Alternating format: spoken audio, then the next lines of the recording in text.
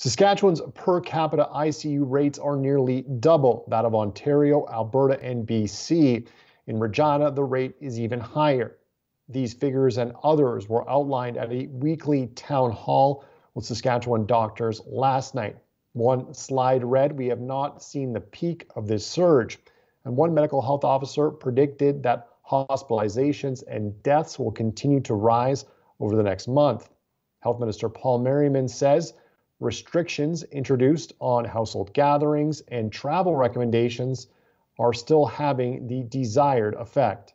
We're comfortable right now that uh, these are having an impact because we haven't seen uh, the exponential numbers that were projected a few weeks ago. So they are stabilizing as a high number, as the Premier indicated, uh, but we, we are stabilizing certainly in the Regina area, and uh, the rest of the province is hopefully stabilizing very soon as well. One slide showed that even after Regina had restrictions introduced, ICU numbers remained high. And one medical health officer said that every layer of protection needed strengthening. When asked about the government's messages matching that of doctors, Paul Merriman insisted he is listening. We're absolutely listening to what the doctors. They're informing uh, my officials, and I'm meeting with them on a regular basis to be able to find out what it is that we can do to continually adapt. The presentation also indicated that in the first three months of 2021, more people have been hospitalized than the entire first 10 months of the pandemic. And those in ICU are younger than ever before.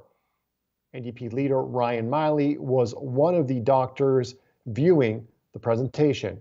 The overwhelming feeling was that this was the most upsetting and demoralizing of these town halls yet and that really what we were hearing from the leadership of the SHA who were speaking was a cry from help. And it's been such a jarring discord between the clear, honest message coming from SHA leadership to doctors and the downright disinformation campaign that we're seeing from Scott Moe and Paul Merriman when it comes to the message they're trying to spin, the fantasy they're trying to spin about the reality we're facing today.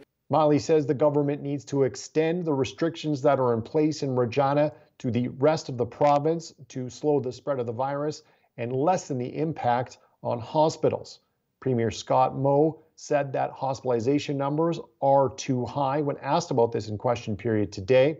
And he said that people should continue to follow the public health measures and get a vaccination as soon as they are able. Adam Hunter, CBC News, Regina.